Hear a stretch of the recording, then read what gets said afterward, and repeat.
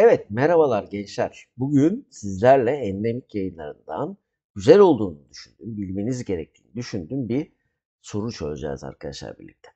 Ne diyor? Şekildeki ardışık noktalar arasındaki mesafeler eşittir. Bu noktalardan herhangi üç tanesini köşe kabul eden ve dik olmayan kaç üçgen çizilebilir?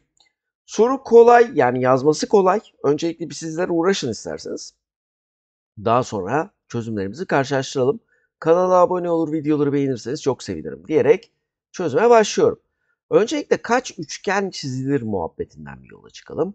Toplam kaç nokta var? 1, 2, 3, 4, 5, 6, 7, 8, 9, 10, 11. Normalde maksimum 11'in üçlüsü kadar yani her üç noktadan bir üçgen çizilmeliydi. Şu tabanda doğrusal olan 8 nokta var.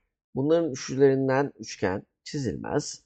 Şurada da 1, 2, 3, 4 nokta var. Bunlarla da üçgen çizilmez. Dikkat ederseniz bu L noktası burayla da doğrusal, bu dikey doğruyla da doğrusal. O yüzden her ikisiyle de saymak gerekir. Şimdi 11'in üçlüsü 11, 10, 9 bölü 3, 2, 1. 15 çarpı 11, 165. Eksi. 8'in üçlüsü 8, 7, 6, 3, 2, 1, 56. Eksi. 4'ün üçlüsü 4'ün birlisine eşittir. O da 4'tür. Şurası 60 etti. Toplam üçgen sayısı arkadaşlar 105. Tabi bizim burada dik üçgenleri bulup yok etmemiz gerekir. Bakın şöyle dik üçgenler olabilir. Bakın burada sadece sol tarafta herhangi iki noktayı birleştirdiğimde bir dik üçgen oluşuyor. O zaman şu üç taneden birini aldım. Şu tabandaki L haricindeki üç taneden de birini aldım. Sol tarafta 9 tane dik üçgen var. Bu tamam. Şimdiki şurayı şöyle bir temizleyelim. Gelelim sağ tarafa arkadaşlar. Çok da güzel temizleyemedik. Sağ tarafa gelirsek orada da arkadaşlar yine aynı şekilde bakın. Şurada herhangi iki noktayı birleştirirsem bir dik üçgen oluşuyor şu şekilde sağ tarafta. O zaman 1, 2, 3, 4. 1, 2, 3. Yani 4'ün birlisi ve 3'ün birlisi. 12 tane de sağ tarafta dik üçgen var. Evet bunu da hallettik. Şimdi gelelim şu mevzuya. O da arkadaşlar sağ ve sol tarafta olmayıp ama yine de dik olan üçgen. Peki o nasıl olacak hocam?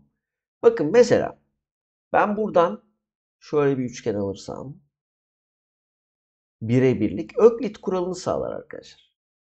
Şurası 1, burası 1, burası da 1 olunca h kare eşittir pk kuralı sağlıyor. 1 kere 1, 1. Buradan bir tane bir birimlik dik üçgen çıktı. Peki sadece bir birimlik mi olacak? Hayır.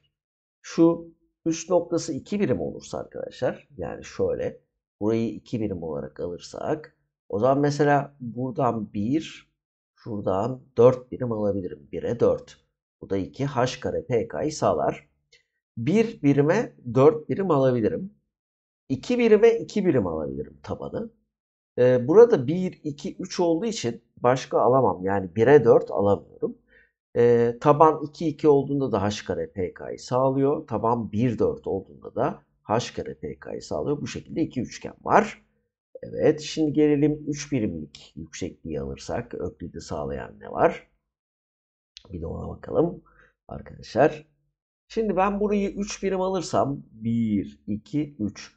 Tabandakilerin çarpımı 9 olması lazım. O zaman sol tarafa doğru 3, sağ tarafa doğru 3. Sadece bir üçgen var bu öklidi sağlayan. Başka da yok. Orada da bir üçgen oldu. Bu şekilde kaç üçgen var arkadaşlar öklidi sağlayan? Dik 4 tane üçgen var. Şimdi dikleri toplayalım. 12, 4 daha 16, 9 daha 25.